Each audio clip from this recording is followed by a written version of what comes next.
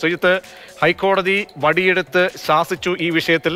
അതിനനുസരിച്ചുള്ള നടപടികളിലേക്ക് ഈ യോഗം പോയിട്ടുണ്ടോ കടന്നിട്ടുണ്ടോ എന്തൊക്കെ നിർദ്ദേശങ്ങൾ വന്നു ആരൊക്കെ ഉദ്യോഗസ്ഥരാണ് ഈ പ്രധാനപ്പെട്ട യോഗത്തിൽ പങ്കെടുത്തത് ശ്രീജിത്ത്? പ്രതീക്ഷ ഇന്ന് വൈകുന്നേരം അഞ്ചു മണിക്ക് ആണ് മുഖ്യമന്ത്രി ബ്രഹ്മപുരം വിഷയം ചർച്ച ചെയ്യാൻ ഉന്നതതല യോഗം വിളിച്ചത്. യോഗത്തിൽ മന്ത്രി എം രാജേഷ് അടക്കമുള്ള ഉള്ളവരും ഒപ്പം തന്നെ chief secretary V P G അടക്കമുള്ള ഉദ്യോഗസ്ഥരും പങ്കെടുത്തു. ഇന്ന് രാത്രിയോടെ അല്ലെങ്കിൽ ഏറിയാൽ നാളെ പുലർച്ചെയോടെ തീപിടുത്തം പൂർണമായും അണയ്ക്കാനാണ് ഈ മുഖ്യമന്ത്രി നിർദ്ദേശം നൽകിയിരിക്കുന്നത്.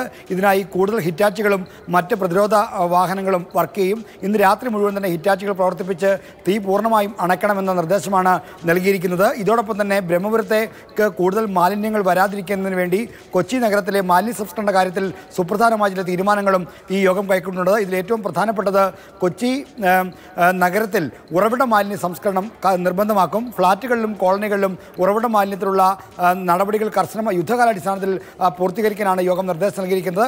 ഇതോടൊപ്പം തന്നെ പ്ലാസ്റ്റിക് മാലിന്യങ്ങൾ ഇനി ബ്രഹ്മപുരത്തേക്ക് അയക്കേണ്ടതില്ല എന്നുള്ള തീരുമാനമെടുത്തിട്ടുണ്ട്.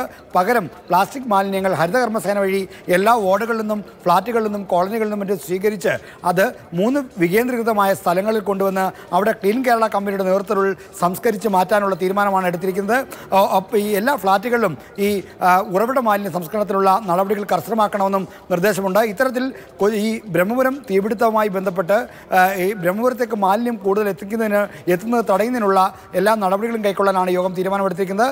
ഈ യോഗത്തിന്റെ തീരുമാനങ്ങൾ യുദ്ധകാലാടിസ്ഥാനത്തിൽ നടപ്പിലാക്കാൻ തീരുമാനിച്ചു. തീയണക്കൽ ഇന്ന് രാത്രി അല്ലെങ്കിൽ ഏറിയാൽ നാളെ പുലർച്ചയോടുകൂടി പൂർണമായും തീർക്കാനാണ് തീരുമാനം.